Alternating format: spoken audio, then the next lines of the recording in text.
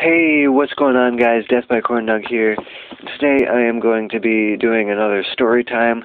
Uh, I was reading The Silver Bear. I'm going to continue that, but not today because I do not have time for that chapter. It is really long. So normally I don't read two books at once, but I'm going to anyway. Uh, what I'm going to be reading is The Survivalist Total War by Jerry Ahern. And uh, this book has a lot of typos and whatnot, so you're going to have to bear with me. So uh, we might as well go ahead and get straight into this. Here we go. Chapter 1. Now! Rourke shouted, pushing himself up from a low crouch and waving his left arm. He burst into a long-strided, loping run down the steep gravel embankment, past the scattered granite outcroppings and toward the packed dirt highway below.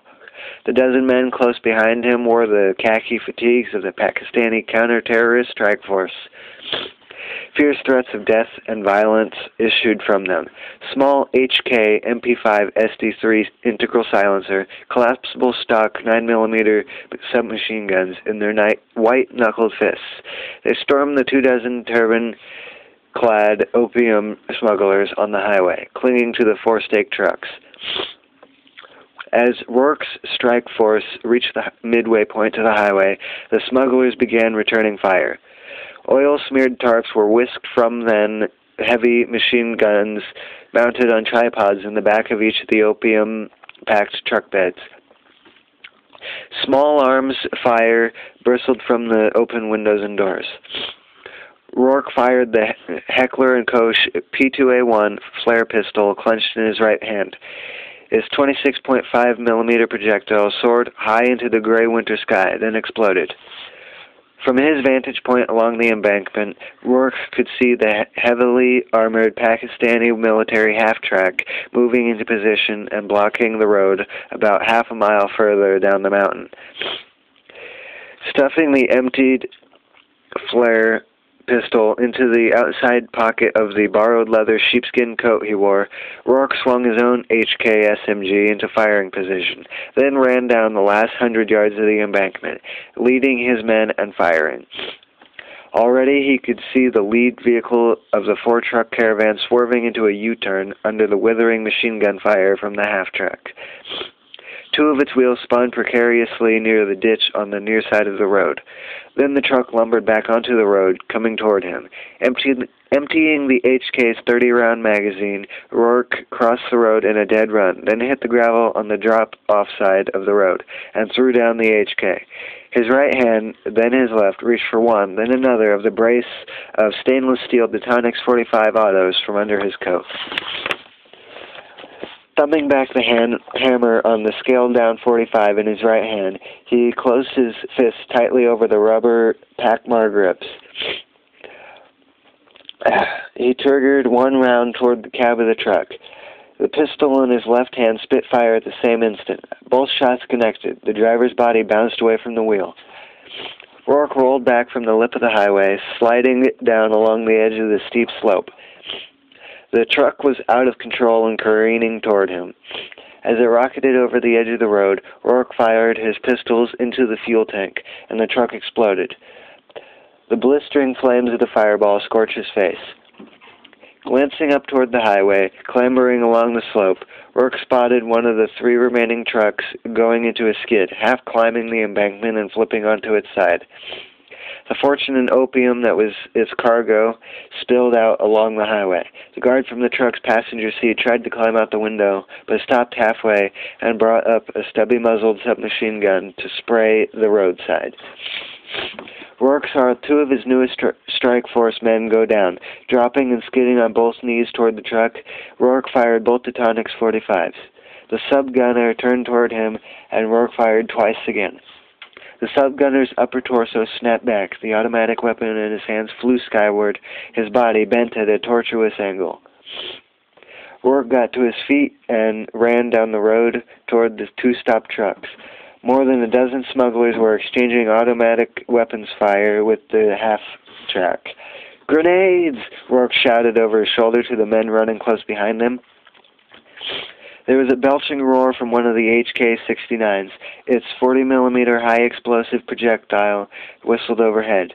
Rourke dropped to the road, tucking his head down as the grenade exploded just yards in front of him. He glanced up as the truck exploded. Bodies and severed arms and legs soared into the air. The sky rained opium and bloody flesh. One of the HK-69s whooshed again. The second truck exploded. Pushing himself onto his elbows, then getting to his feet, Rourke shouted to his men, Finish him! His team closed in on the surviving drug runners. He fired both Detonics pistols until they went empty, then stuffed them into the waistband of his trousers and reached to his hip for the metallified six-inch Colt Python 357 holstered there, firing it point blank into the chest of the closest of the drug smugglers, then emptied it into two more of the men coming at him. Using his empty Colt like a truncheon, he smashed down hard on the head of the nearest of the smugglers, then wheeled around. A Turban Clan man with a long-bladed knife charged toward him. Rourke sidestepped. He dropped the python back into its holster. No time to reload.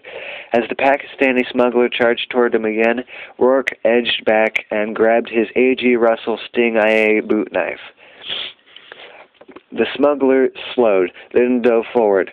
Rourke sidestepped the knife and whipped down with his small double-edged blade against the right side of the man's neck, slicing open an artery.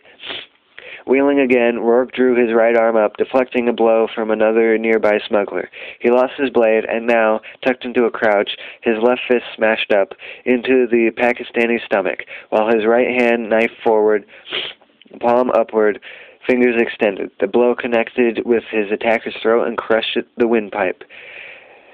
Then, wheeling around in, a, in the classic T stance, Rourke stopped. To his left, one of his men was knocking the last drug dealer down to the road with the butt of his subgun. Drawing up his shoulders, Rourke breathed deeply. Turning and snatching one of the pair, spare six-round magazines from a double pouch at his trouser belt, Rourke dropped the empty magazine from one of the Detonics 45s into his hand, rammed the fresh magazine home, and worked the slide stop, stripping the top round and loading the chamber.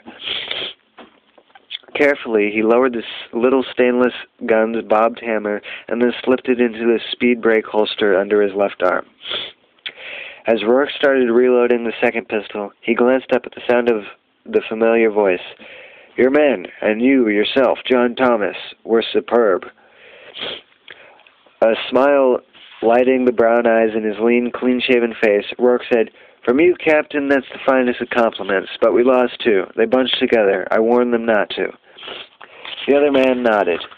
Rourke added, but maybe the others will learn by it. You and I both know that the stuff that's hardest to remember is the stuff that they'll, that'll usually keep you alive or get you killed. You're right, John Thomas, but I think these men you trained will do well in this opium war we fight.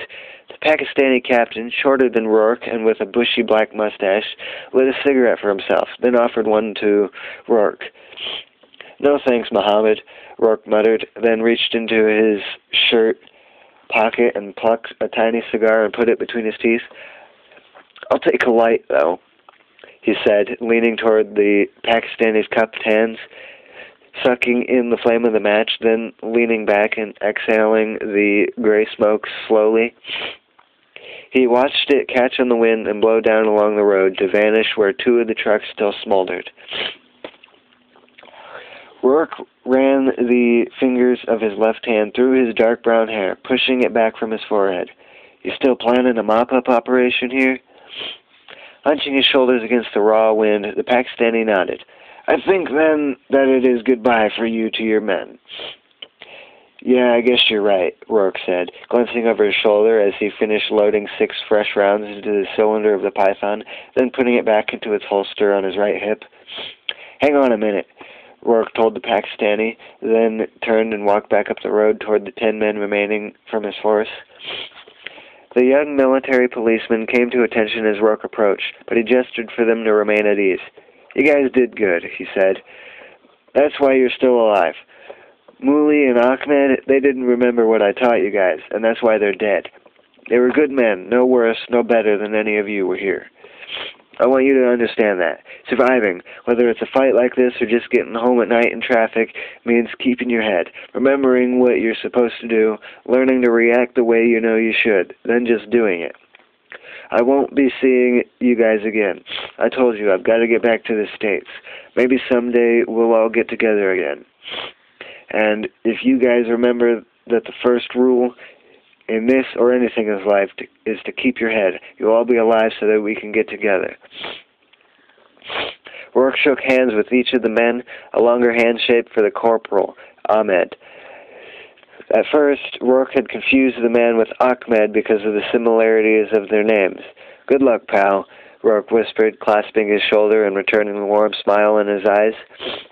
Here, he added impulsively, handing the man the Heckler & Koch flare pistol from his pocket.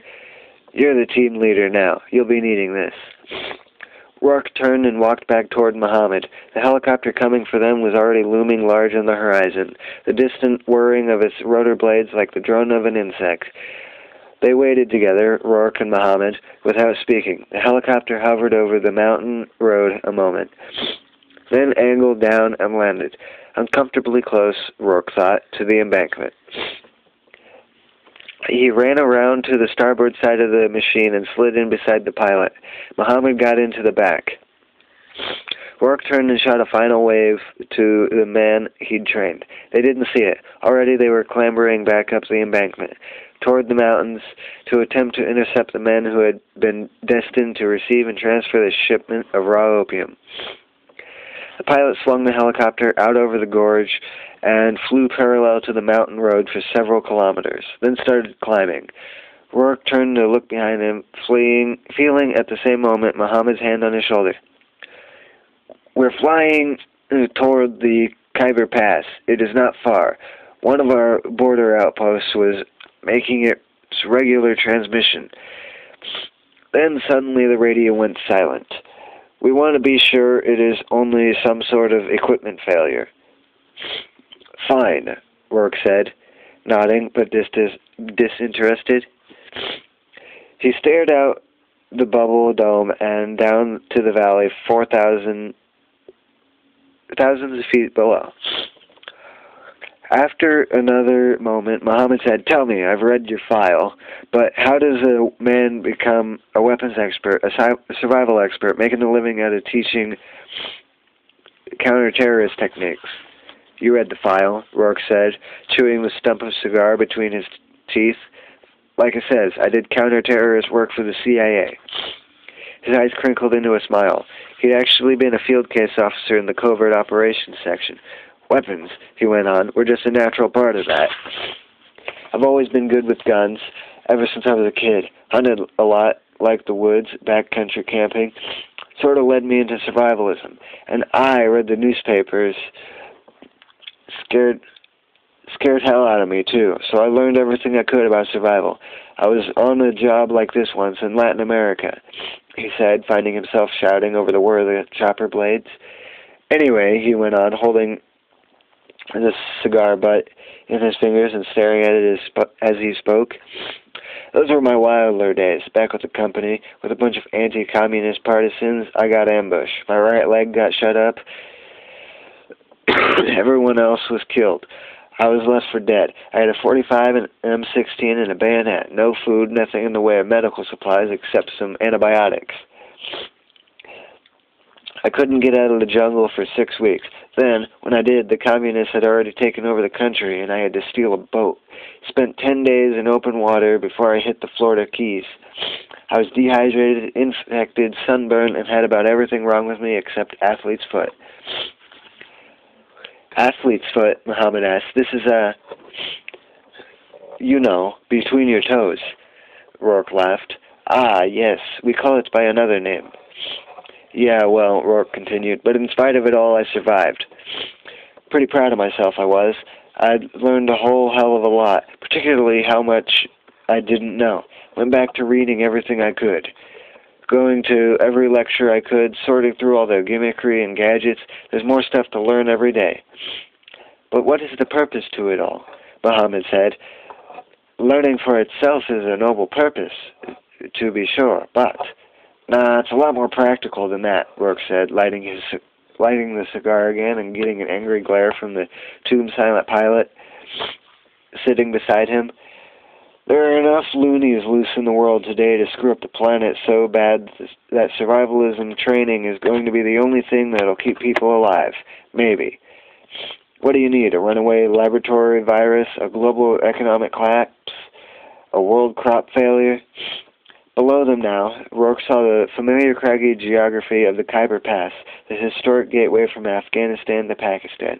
These days, he thought bitterly, Afghanistan was a Soviet satellite or the next best thing to one. Mohammed leaned forward, speaking to the pilot. Take the machine down. I want to see our border outpost from the air before we land.